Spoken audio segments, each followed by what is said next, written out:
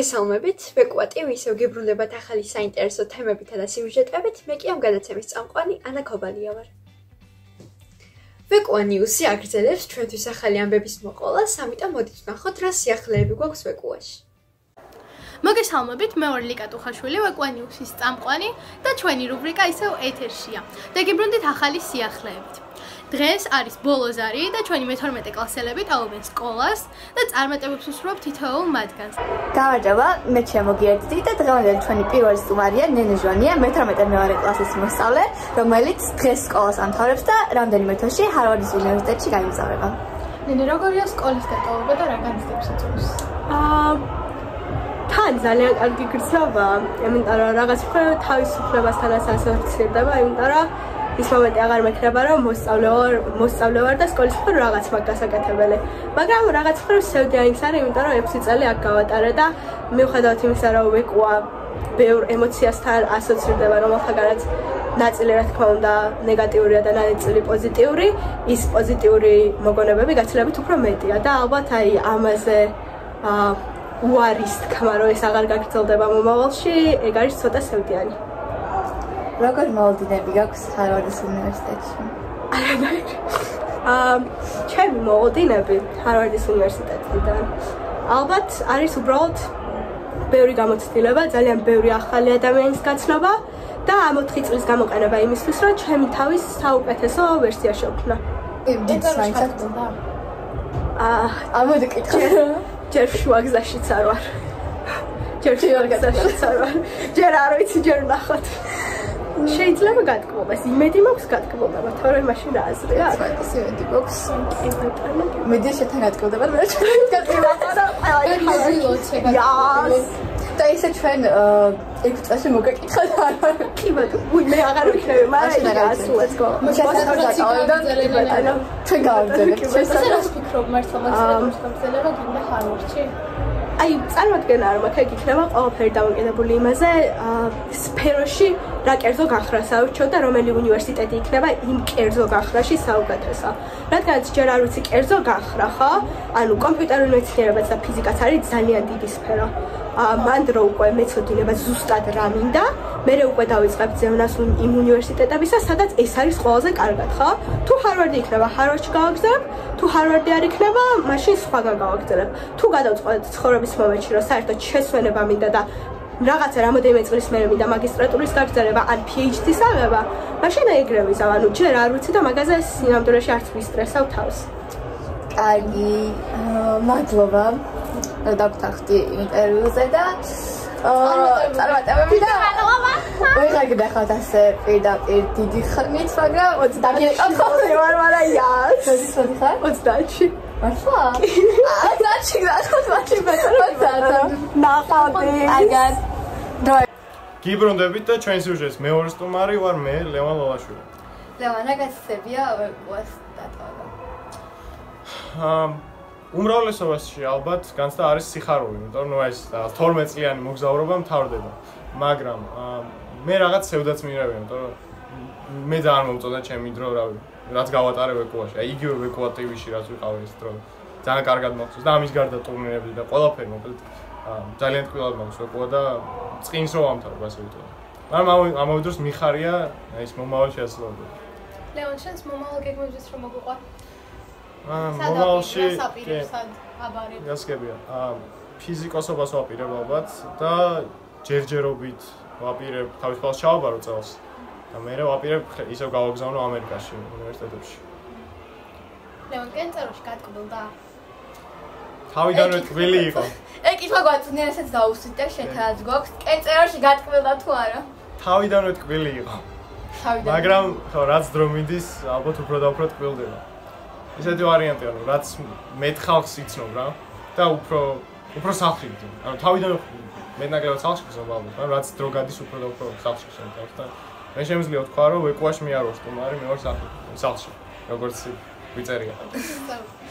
აჯახს წერი და თუ შეგვეძლება ვეკუაში შენი ნახვა და თუ დაგვებული მე მივდივარ, მაგრამ რეალურად არ მივდივარ. აი ამას კიდევ ნახავ. აა ნენსგან გასხოვებით ამერიკაში დამიგე. არგი, მადლობა. ინტერვიუზე რომ დავთავდი და მოვალ მადლობა თქვენ.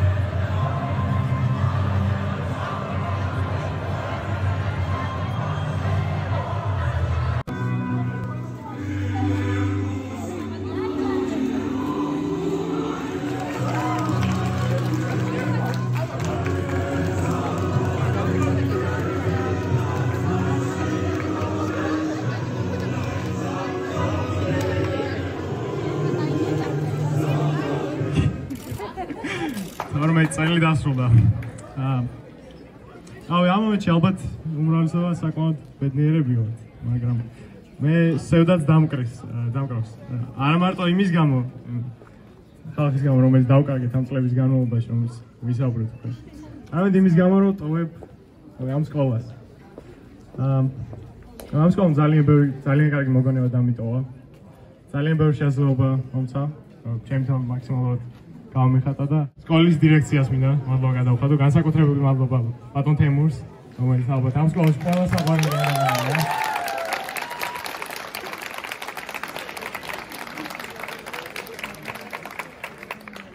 ალბათ მაგას რომელიც ასევე ალბათ ძალიან მიყვარს და ბატონ დირექტორს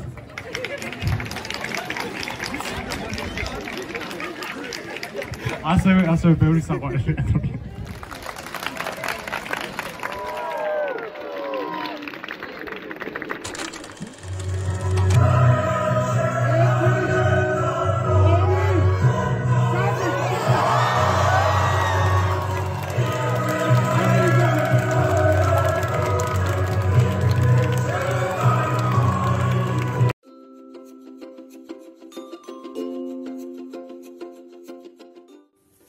გამარჯობა, მე საბაჩუკინიძე ვარ. დღეს პარასკევია და ეს გადაცემა გენზია.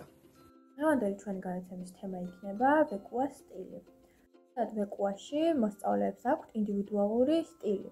დღეს მინდა გამოვყო ხუთი მათგანი და ვისაუბრო მათზე. პირველი ვეკუას სტილი, რაზეც ვისაუბრებთ, ეს არის ემო სტილი.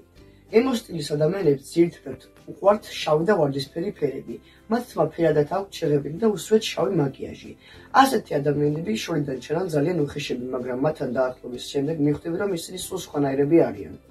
მეორე კატეგორია oversize სტილი. ბავშვებს ძირითადად აწვდიათ თავისუფალი მაისური და შარვალი, რომელიც საკმაოდ კომფორტულია. ასეთი მოსწავლეები ძირითადად არიან სკეიტერები. კლასიკური ლუკი ვეკუაში არის ყველაზე ორიგინალური. კლასიკური ლუკით ჩაცმულ ადამიანებს აწვიათ პიჯაკი და ჰალსტუხი და ასეც უამრავს ნახავთ ვეკუას დერეფნებში. კლასიკური სტილის ადამიანები უსმენენ რა თქმა უნდა კლასიკას და მათ ეს სიმღერა სტილს უყალიბებს. ანიმე სტილი არის ფერების მიქსი. მასში ჭარბობს შავიც და ფერადი ტანსაცმელიც და ხშირად ბავშვებს მაისურზე აქვს გამოსახული სხვადასხვა ანიმეს პერსონაჟებიც. ბოლო სტილზეც ვისაუბრებთ არის casual სტილი. ალბათ ვეკუაში ყველაზე გავრცელებული სტილი ეს არის casual სტილი შედგება უბრალო მაისურისგან და შავისგან.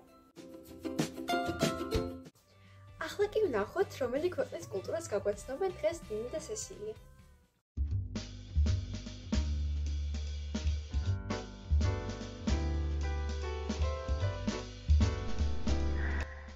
საღამოშიდობისაც ვირთვესო ტელემაყურებლებო, მე სესილია ვარ და თქვენ უყურებთ კულტურა შორის რუბრიკას.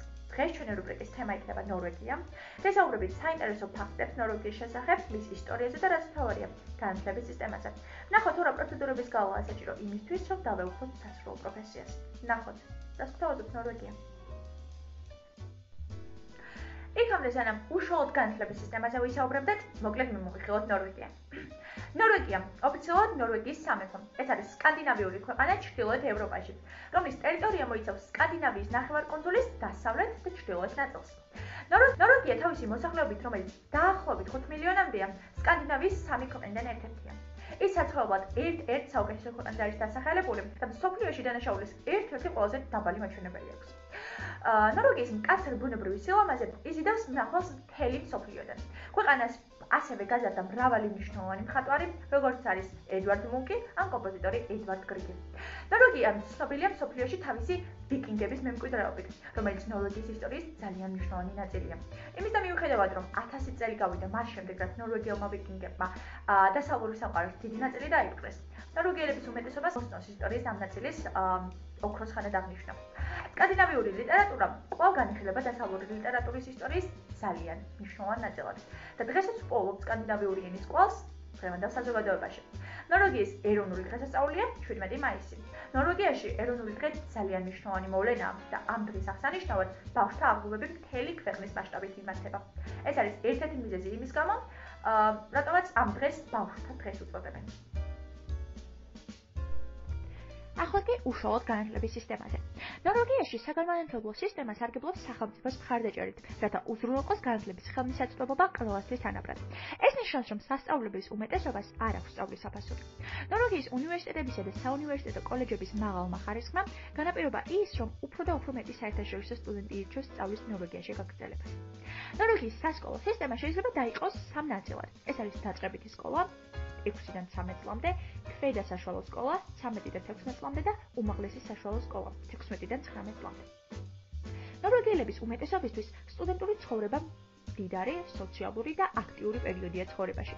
სწავლის პარალელურად ბევრს აქვს ნახევარგანაკვეთის სამუშაო ადგილი, თუმცა სტუდენტური სესხის შესავსებად ან სამუშაო გამოცდილების მისაღებად.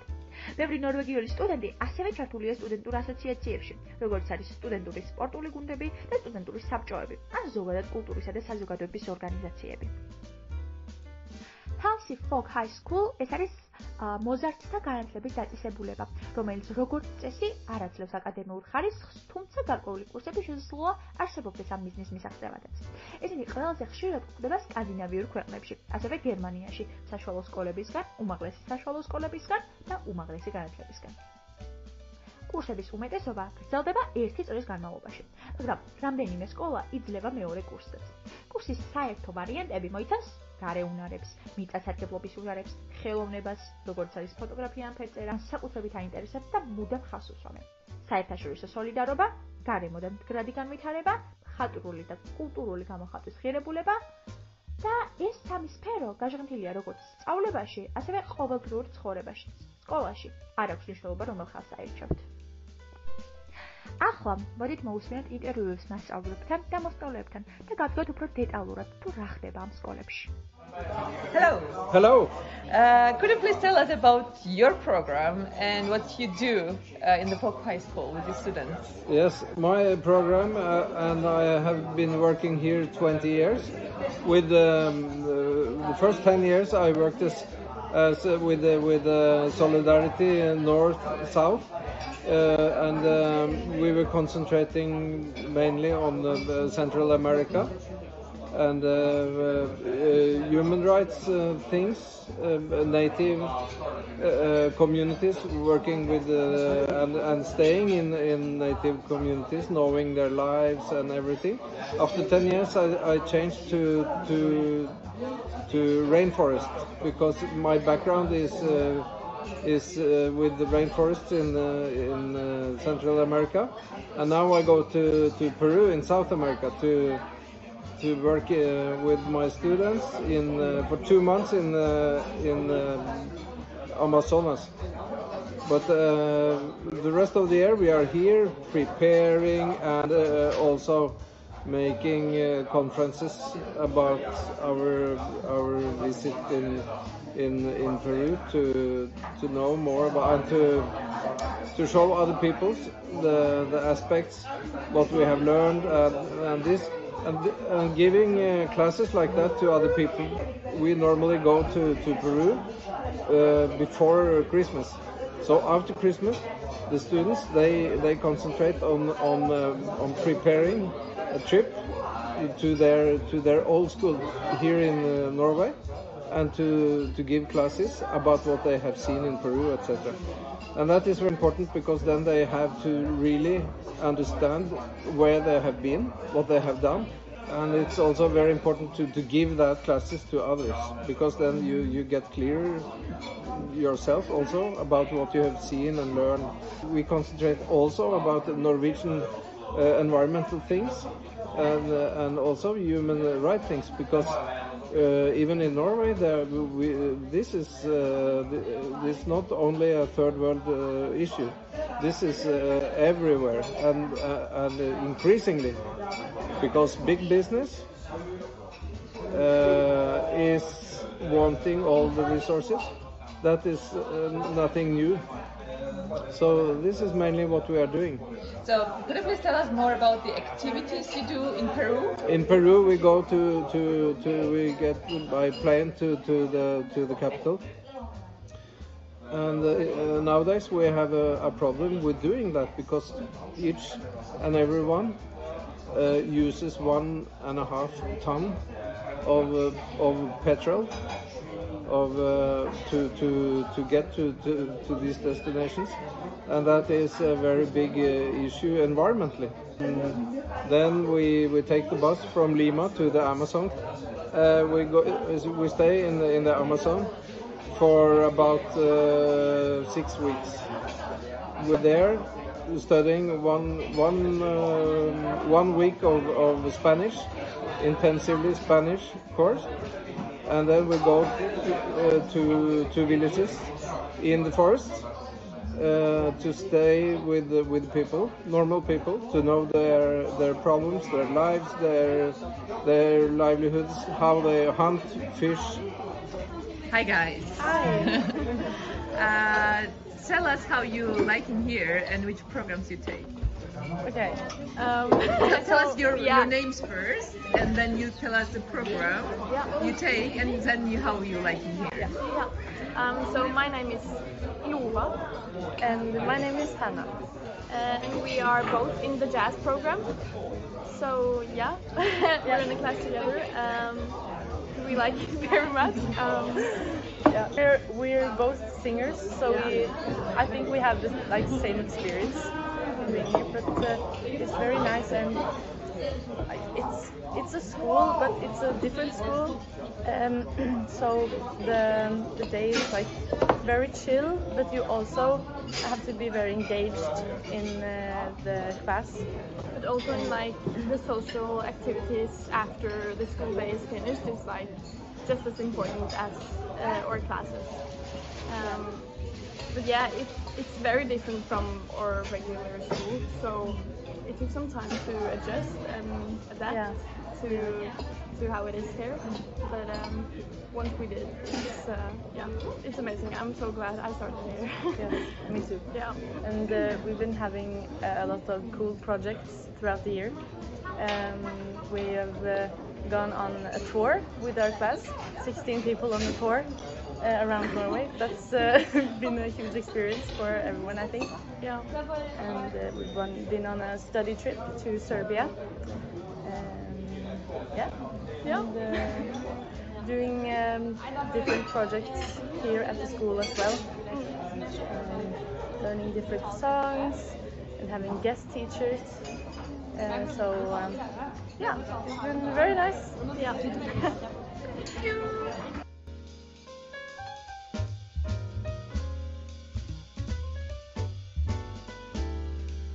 ახლა კი მოვისმინოთ კიდევ ერთი წარმატებული ვეკუადამთავრებულის ისტორია.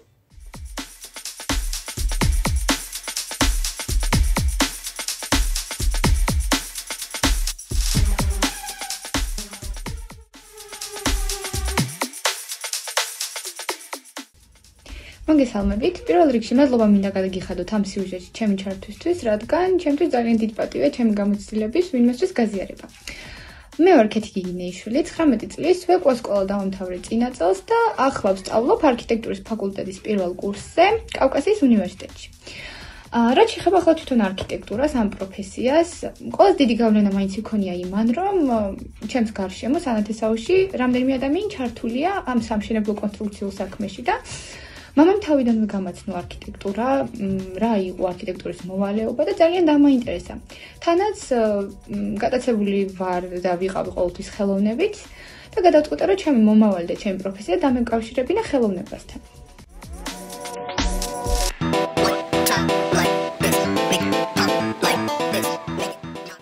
კავკასიის უნივერსიტეტში ჩავაბარებდი, მივედი ამ ადგილის დასათვალიერებლად და ისეთი ინფრასტრუქტურა იყო, რომ უბრალოდ შეუძლებელი იყო არ მიეზიდა სტუდენტის ყურადღება.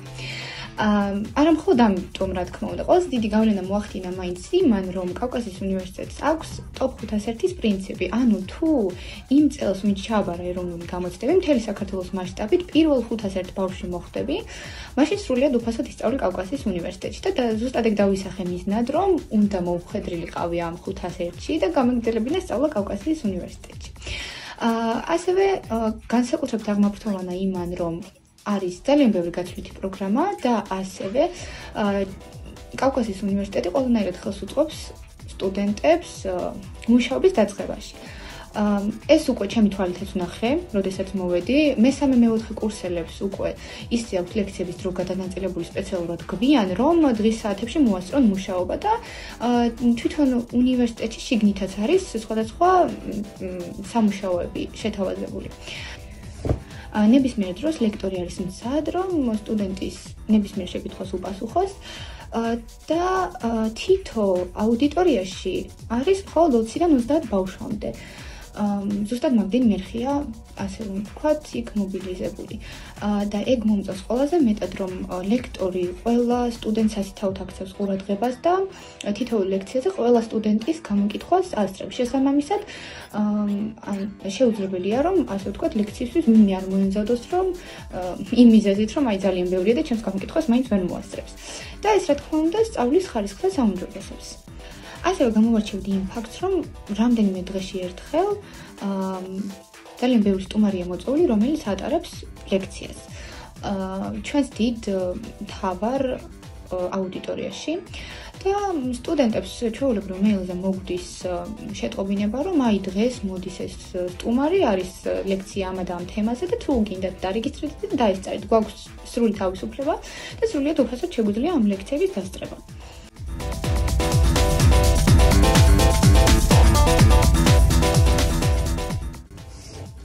გულწრფელად ვიტყვი, რომ საუკეთესო გადაწყვეტილება რაც მიმიღე ცხოვრებაში არის ის, რომ აი ამ უნივერსიტეტში გავგრძელე სწავლა. აა ჩემი უნივერსიტეტი ძალიან ბევრი რამის გამო მომწონს.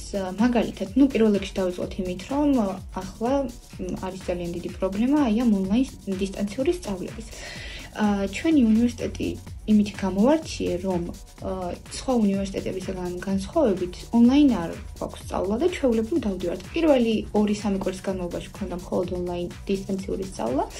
და იმის შემდეგ, როდესაც გავედით უნივერსიტეტში, უკვე აღარ ჩაკეტილა საერთოდ და ჩვეულებრივ დავდივართ და ეს ფიქრობ ძალიან წინგადადგმული ნაბიჯია. აა იმიტომ რომ სტუდენტებს სტუდენტური ცხოვრება აქვთ და გრძნობენ, ასე ვთქვათ. ასე მომწონს ის, რომ უნივერსიტეტი ყველანაირად ხელს გვიწყობს გრაფიკის აგებაში. რა თქმა უნდა, თვითონ გვეუბნებიან რა საგნები უნდა გავიაროთ, მაგრამ დროის არჩევა შეგვიძლია ჩვენი რამდენიმე შემოთავაზებული ვარიანტიდან და შესაბამისად შეგვიძლია ისე გავანაწილოთ დღეები, რომ მაგალითად ყოველდღე არ ვიაროთ უნივერსიტეტში და რაღაც თავისუფალი დრო უფრო მოვახმაროთ თუნდაც მუშაობას ან რაღაც ნებისმიერი საქმის გაკეთებას. ასევე ჩემს უნივერსიტეტში მომწონს ის რომ ყველა პროფესიისთვის არის განსაკუთრებულად მოწყობილი აუდიტორიები. აი მაგალითად თუნდაც არქიტექტურა რომ ავიღოთ, ჩვენ ახლა გავდივართ ისეთ პროგრამებს, რომელსაც ჭირდება ძლიერი კომპიუტერი და ძლიერი ლეპტოპი. რადგან ანუ თუ არ ექნება ძლიერი მეხსიერება, ჭედავს და შესაბამისად შეუძლებელია ამ პროგრამის გავლა. ის ოთახი, რომელზეც ახლა მე საუბრობდი, არის მობილიზებული ზუსტად აი ამ ძლიერი კომპიუტერებით და შეგვიძლია ჩვეულებრივ პრობლემოდ გავიაროთ ეს პროგრამები. ასევე ამ ოთახში გვაქვს დაფები, ეგრეთ წოდებული რეიშინიანი, რომელიც გვეხმარებოდა პირველ სემესტრში ხაზვის ლექსიის ჩასატარებლად. გვაქვს ცალკე ხელოვნების სტუდია, სადაც მობილიზებულია მოლბერტები, თიხის ფიგურები, საძერწი პლასტელინი უყაო და ასე შემდეგ.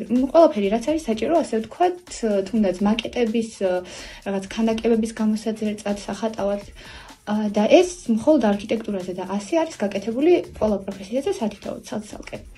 აა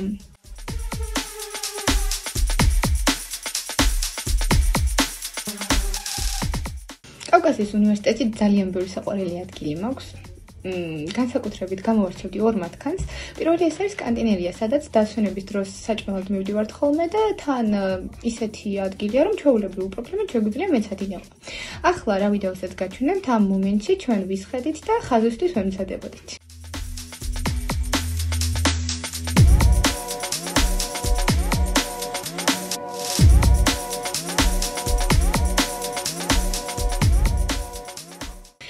ჩემი საყვარელი ადგილი არის არქიტექტურის სტუდია. ეს არის პატარა აუდიტორია, სადაც გვაქვს შენახული ჩვენი დამზადებული მაკეტები. აა ასევე ისიც მობილიზებულია კომპიუტერები, სადაც შეგვიძლია ჩვეულებრივ იმ პროგრამებში მუშაობა, რასაც გვასწავლიან.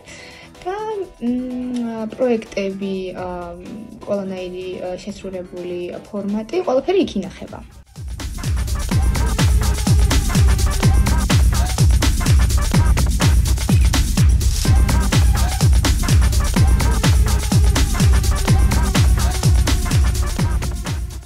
რაც შეეხება თვითონ ჩემს პროფესიას, არქიტექტურას. აა მაგაზე შემიძლია ის თქვა, რომ არის ძალიან მოთხოვნადი და ზოგადად არქიტექტურაზეა დამოკიდებული ქალაქის ისტორია.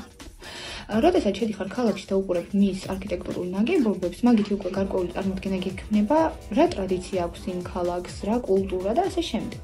ასევე არქიტექტურზე არის დამოკიდებული ის, რამდენად სწორად დააგეგმარებს თითოეულ შენობას. იმიტომ რომ პატარა შეცდომაც კი შეიძლება ძალიან ფატალური აღმოჩნდეს და შესაბამისად არქიტექტურზე ასე ვთქვათ ადამიანის სიცოცხლეს არის დამოკიდებული და ძალიან საპასუხისმგებლო საქმეა. ერთ-ერთმა ჩემო ხატვის მასწავლებელმა ასეც მითხრა, რომ როდესაც გადაწყვეტ რომ არქიტექტორი გამოხვიდე, ან უნდა იყოს საუკეთესო არქიტექტორი, ან ამ გზას არ უნდა გაყვე. ანუ არ არსებობს აა არ შემდგარი არქიტექტორი. აა და მე ვეთანხმები ამ მასწავლებელს მაგ სიტყვებში და სწორედ მისმა ამ სიტყვებმა გადამაწყვეტინა, რომ ბოლომდე მივყოლოდი ამ პროფესიას და რაც შეიძლება გამეღმავებინა ცოდნა ამ საკითხში. და მთელი გულით მივდგომოდი ამას. არქიტექტურაში მიყვარს ძალიან ის, რომ აქ ცოდნასთან ერთად აუცილებელია კრეატიულობა. რაღაც ახლის შექმნა. მეც მაგალითად მინდა რომ მომავალში რაღაც ახალი სტილიც შემოვიტანო და ასე ვთქვათ, ქალაქს დაეწყოს თითოეული არქიტექტორის ან თუნდაც ჩემი ხელი. აა და ეს რა თქმა უნდა დიდი პატივი იქნება, როდესაც ჩაივლი და იცი რომ აი ეს შენობა, რომელმაც რაღაც განსაკუთრებული ინტერესი გამოიწვია, არის შენ დაგეგმარებული. სულ ბოლოს ვეკუელებს ვეტყოდი იმას, რომ ძალიან დიდი ნაბიჯი გაქვს ცხოვრებაში გადადგმული, რომ ჩავაბარეთ ამ სკოლაში, რადგან სწორედ ვეკუაში მიღებული ცოდნა იყო ის, რამაც გამიადვილა ეროვნულების ჩაბარება, უნივერსიტეტში სწავლა და დარწმუნებული ვარ, სწორედ ეს ცოდნა დამეხმარება მომავალში ჩემი მიზნის მიღწევაში. აა თავარი არის ის, რომ როდესაც რაღაც მიზანს დაისახავთ, არ გაჩერდეთ, უნდა იბრძოლოთ და იმოქმედოთ. არ დანებდეთ არავითარ შემთხვევაში. სადღაცა სამოკითხული მაქვს ასეთი ფრაზა, რომ შეუძლებელი არაფერია, უბრალოდ შეუძლება ზოდნა მეტი დრო სჭირდება. ასე რომ, მთავარია მოთმინება და რაც არ უნდა უტოპიურად გეჩვენოთ რაღაც მიზნის მიღწევა, დამიჯერეთ რომ შრომა წყალში არ ჩაიყრება და ამას აუცილებლად მიაღწევთ. მე მჯერა რომ თითოეულ ვებულს საუკეთესო მომავალი ექნება. დღევანდელი ჩვენი გადაცემა სულ ეს იყო. იმედი მაქვს მოგეწონათ ჩვენი სიუჟეტები. ახლა კი გემშვიდობებით მომავალ შეხვედრამდე. ნახვამდის.